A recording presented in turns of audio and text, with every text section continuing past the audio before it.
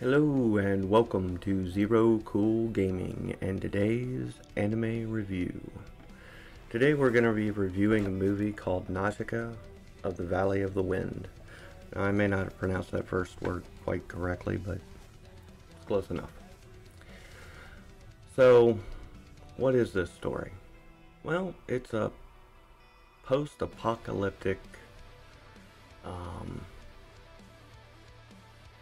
I guess you could say a war between nations um, settled by insects.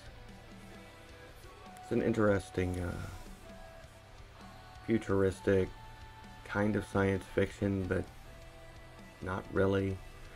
Um, it's a different type of show. So let's set up how this is how this show goes.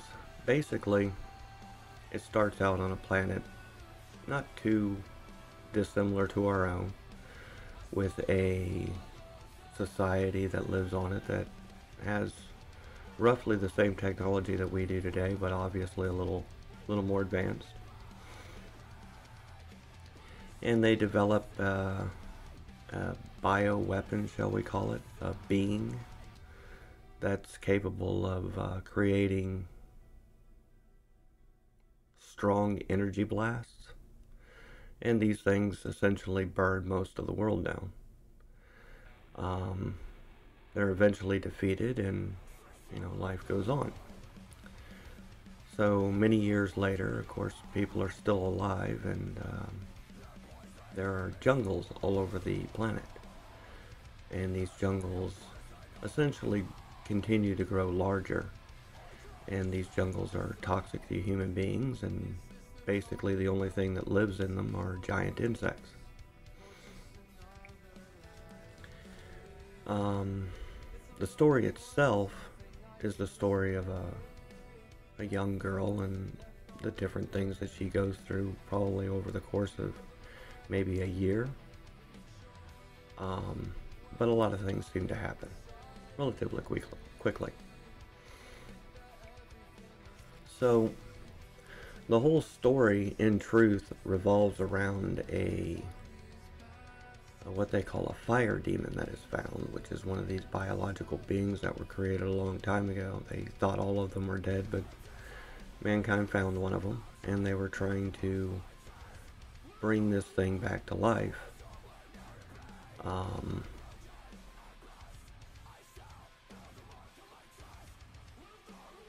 as a result of this thing's existence in that respect, the insects within the uh, toxic forests are able to sense its existence or the fact that it's getting stronger or something.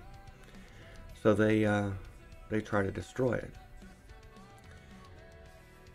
And of course, you know, human beings being human beings decided to take it from where it was, put it on a plane, and, you know, try to take it someplace else and then they crash land in the uh, crash land in the town that uh, the main character lives in. Um, from there,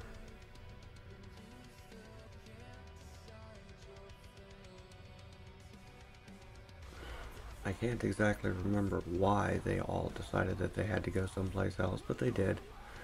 Um, so basically they all get onto some planes along with this main character and uh, they start flying to another destination and they get attacked um, by a gentleman who actually lived in the first town that was attacked by insects.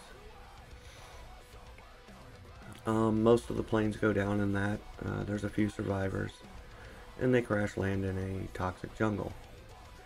Um, they have some interactions with insects.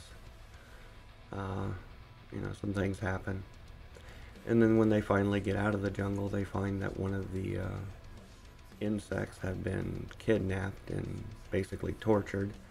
And they were going to use it as bait to uh, destroy the town that this demon that's being resurrected is currently in in the hopes of destroying the demon as well. Um,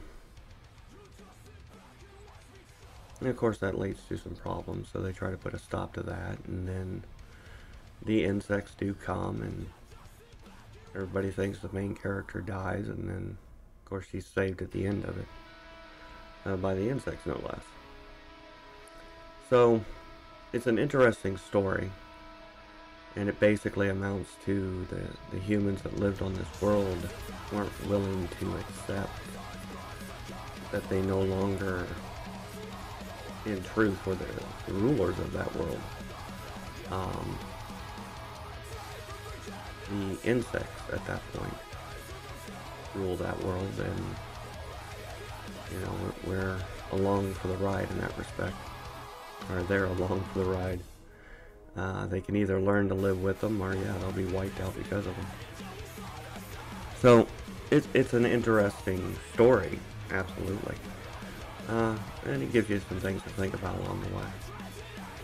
But uh, did I enjoy the story? Yeah, I've watched it like four or five times. It's a good story. Yeah, I think it's Studio Ghibli. If not, it, it's much like what they would do. Um,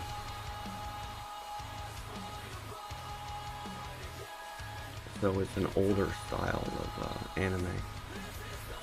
The um,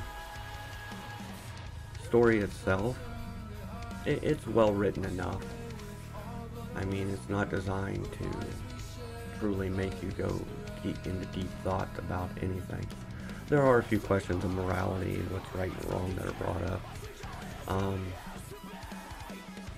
right from the get-go, it, it's the question about, you know, life in that respect. Um, putting one life over another because of its perceived status. Um, and that's, yeah, that would be a hard thing to get through people's heads that you couldn't uh, just go around slaughtering insects anymore. Cause, um, they seem to be able to talk to one another on this world, and they don't like that stuff. And there's more than enough of them to uh, eliminate your entire town, so don't do that anymore. That would be a hard concept to get through people's heads. So, and that's kind of what this show tries to, to tackle without um, actually tackling it because it never provides an answer on how to do that. But it does present the question, which, you know, I, I get that.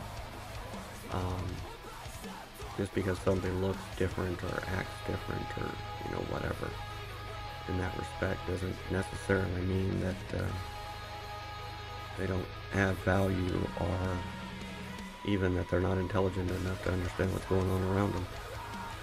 Um, so yeah, very interesting story. I enjoyed it. And that's my review of uh, of the Valley of the Wind. And, you know, if you've never seen it, maybe you'll pick this one up and give it a watch. It's definitely worth uh, watching. Um, that's my rant for the day, and I hope you enjoy the rest of yours.